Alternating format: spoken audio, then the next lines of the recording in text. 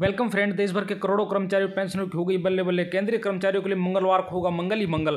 केंद्र सरकार के 50 लाख ज़्यादा केंद्रीय कर्मचारी, पैंसठ लाख ज़्यादा पेंशन भोगों को मंगलवार को नए साल पर 2023 की पहली खुशखबरी मिल सकती है। स्वागत है आपका अपने भरोसेमंद YouTube channel employs latest news पर। सबसे पहले वीडियो को लाइक कर दीजिए, क्योंकि लाइक हमारी मेहनत का फल होता है। साथ में चैनल पर फ़र्स्ट टाइम विज़िट किया तो चैनल को सब्सक्राइब करके बेलाइकन दबा दीजिए, ताकि कर्मचारियों और पेंशन भोगों से संबंधित वीडियोज़ का नोटिफिकेशन आपके पास पहुँचे। सबसे पहले, जनवरी का महीना बीतने वाला है, और इस महीने के आखिरी दिन, यानी इकतीस जनवरी दो दिन मंगलवार को केंद्रीय कर्मचारियों को बड़ी खुशखबरी मिलने वाली है। यानी आज से सही दो दिन बाद केंद्रीय कर्मचारियों को नए साल 2023 का पहला सौगात मिल सकती है। केंद्र सरकार के इस ऐलान से 50 लाख से ज़्यादा केंद्रीय कर्मचारी और पैंसठ लाख ज़्यादा पेंशन भोगियों को सीधा फ़ायदा देखने को मिलेगा। दरअसल इकतीस जनवरी दो हज़ार तेईस को महँगाई के नए आंकड़े आने वाले हैं। इस आंकड़े से तय हो जाएगा कि केंद्रीय कर्मचारियों और पेंशनर को इस साल की पहली छमाही में कितनी सैलरी और पेंशन मिलेगी। आपको बता दें कि हर महीने की आखिरी तारीख को ए इंडेक्स का डाटा जारी होता है। नवंबर 2022 तक के आंकड़ों के अनुसार केंद्रीय कर्मचारियों की डीए में तीन फ़ीसदी की बढ़ोतरी हो सकती है।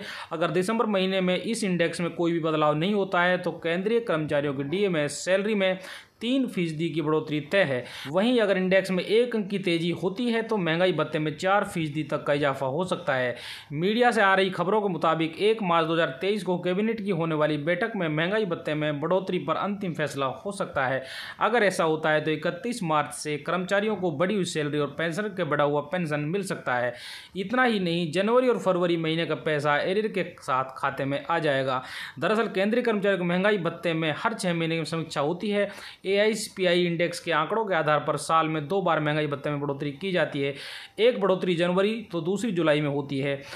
हर साल की तरह साल 2023 में भी केंद्रीय कर्मचारी को महँगाई भत्ते में इजाफा होगा। जनवरी 2023 के लिए महँगाई भत्ते का ऐलान अमूमन होली से पहले होता है। अब तक महँगाई के आंकड़ों को देखकर लग रहा है कि अगले साल भी केंद्रीय कर्मचारी को डीए में तीन फ़ीसदी की बढ़ोतरी हो सकती है। अगर ऐसा होता है तो केंद्रीय कर्मचारियों को मौजूदा महँगाई भत्ता अड़तीस फ़ीसदी से बढ़कर इकतालीस फ़ीसदी हो जाएगा।